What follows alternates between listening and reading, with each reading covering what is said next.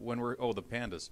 Uh, the pandas were born uh, just two weeks ago, and they weighed only eight ounces each, which is amazing considering that they're actually going to grow to be 300 pounds, 400 pounds, even up to 800 pounds.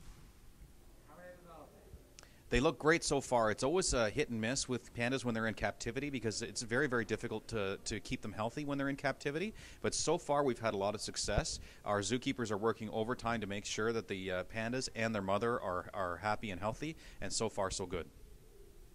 What kind of challenges are there? Well, there's so many challenges because the babies are so small and they need to uh, have their nutrition done correctly.